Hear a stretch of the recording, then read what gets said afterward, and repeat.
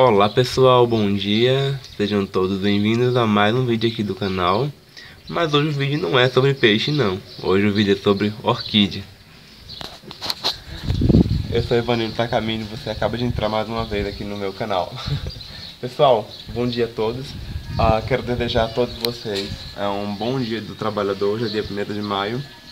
Uh, Aproveitar essa folguinha entre o trabalho e a faculdade para poder fazer um vídeo para vocês Hoje eu queria mostrar pra vocês a floração do meu. Já faz uma semana que tá aberta. E só hoje eu tive um tempinho pra poder mostrar pra vocês. Gente, o cheiro tá tão gostoso do catafeto, não dá pra sentir daqui. Ó, só um dos meus catafetos. Ó, eu tenho esse catafeto aqui. Mas ele não floriu. E tenho esse catafeton aqui, que não sei porque eu nunca mexi nele. Ah, ele acabou crescendo invertido, foi virando e eu fui deixando. Então a floração dele, ó, só deu três flores. Elas também acabaram ficando meio que de cabeça para baixo. Gente, pelo formato da flor do catacetum, a gente identifica que é uma flor, uma flor fêmea. Pelo menos uh, é o que me parece. Uh, eu entendo muito pouco de cataceta, pessoal, para falar a verdade. Esses são meus primeiros exemplares de orquídea cataceta que eu tenho na minha casa. Tá? E sempre escuto falar em pesquisas que cataceto tem, uma, tem essa diferença. Você cultiva uma catleia, a floração é igual. Você cultiva uma orquídea de chocolate que está vindo haste floral aqui, ó, a floração é sempre igual. Você cultiva uma phalaenopsis, a floração é sempre igual. E se você cultiva um dendrobium também, a floração vai ser sempre igual.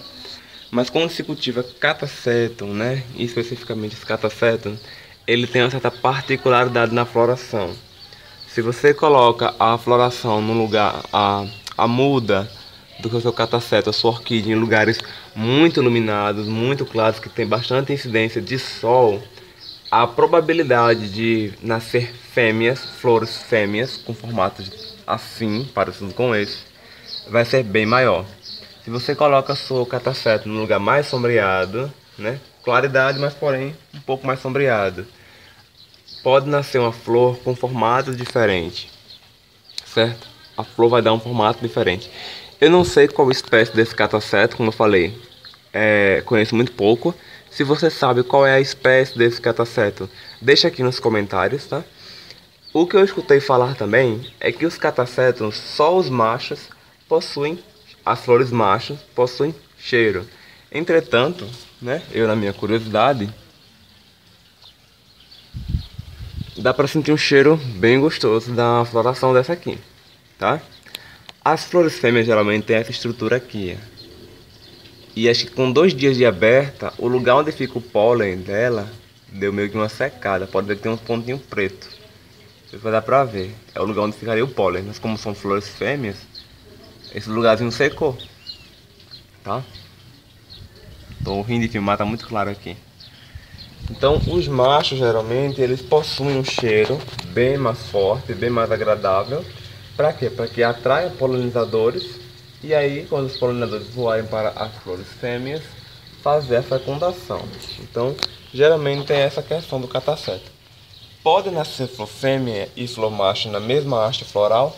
Pode, é possível sim.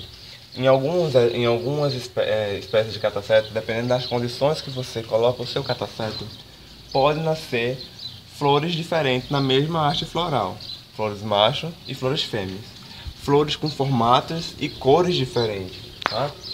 Então, é, nesse caso aqui, todas saíram iguais, todas foram mantidas na mesma condição. O meu cataceto recebia muita incidência solar, tipo, uh, além do lugar ser muito claro, olha, aqui é TNT branco, mas antes de receber o TNT branco, ele ficava é, numa área onde geralmente de uh, 11 a meio-dia, ou 10, 11, 12 a meio-dia, 10, 11 ou 12 horas, ele recebia sol direto, tá? As, flor, as folhas nunca queimaram, tá? Sempre teve essa corzinha verdinha claro aqui, elas nunca queimaram? E sempre nesse vasinho aqui, o substrato, casca de castanhola, certo? Muita gente conhece por bobó, tá? Mas casca de castanhola, não dá nenhuma praga, nunca deu nada, tá? Tá aqui as raízes crescendo normalmente. Esse cataceta aqui foi mantido assim nas mesmas condições de incidência solar, porém ele não saiu nenhuma haste floral. Se não sair haste floral agora, vou ter que esperar ele entrar em dormência e quando vir um novo broto, torcer para que venha uma haste floral. É aqui é de uma outra espécie. Pode ver que o formato da folha é diferente e a cor também, tá? E agora é torcer. Então você que cultiva, gente, o cheiro é tão gostoso da, da flor. Uh, tem um, eu notei um cheiro muito semelhante, muito, muito, muito semelhante ao da flor de lótus. Mas Ivanildo, que cheiro tem uma flor de lótus? Como é que eu vou saber que cheiro tem uma flor de lótus? Gente, ah, esse cataceto, como eu falei, tem o mesmo cheiro da flor de lótus. A flor de lótus ela tem um cheiro, sabe aquele hidratante Monange? aquele hidratante Monange? Pronto, ela tem praticamente o mesmo cheiro. É parecido, tá? Foi o que me levou na cabeça, hidratante Monange. Mas tem um cheiro muito... Pra você ver que o cheiro é bem agradável. Eu tô aqui a quase um metro de distância da flor e dá pra sentir o cheiro dela, certo? Minha Rodrigues tá ali, deu pouquíssimo haste floral esse ano, né? Foi no mês de fevereiro, geralmente minha Rodrigues flora no mês de março e botava muito, lá, esse ano só me deu duas hastes florais, tá? Minha Renan Trecoquinha continua escalando, mas até agora nada de haste floral. A Renan Trecoquinha, gente, ela é uma, uma orquídea que ela gosta mesmo de sol, tá? Então ela precisa de um ambiente úmido, Ó, aqui ela não tá em nenhum substrato. Ela é igual uma vanda, sabe? Tá aqui, ó, as raízes tudo aéreas, vai dar pra ver. Fazer assim. As raízes todas aéreas, certo? Ó. Aí as raízes estão protegidas aqui embaixo, mas olha, toda a parte vegetativa da planta tá pra cima.